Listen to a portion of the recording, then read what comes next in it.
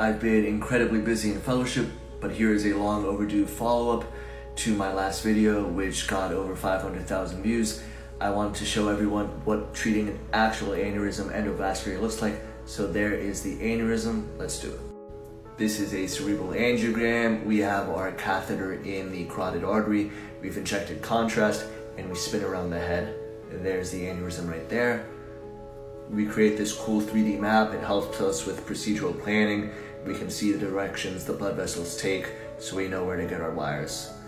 And here's what an actual aneurysm coil looks like. It's very soft and flexible, uh, which is important because it needs to take the shape of the aneurysm sac.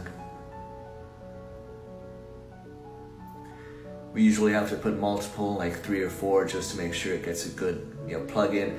And here is treating an actual aneurysm. So we're in there with our very small catheter and we're just coiling it and coiling it in the aneurysm sac.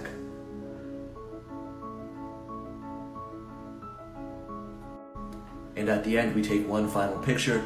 Here's our aneurysm sac with all those coils. We've injected contrast and you can see there's no contrast getting in the aneurysm sac. That means we've done a good job of packing it with coils. If no blood gets in there, it doesn't grow, it doesn't expand, and it doesn't rupture.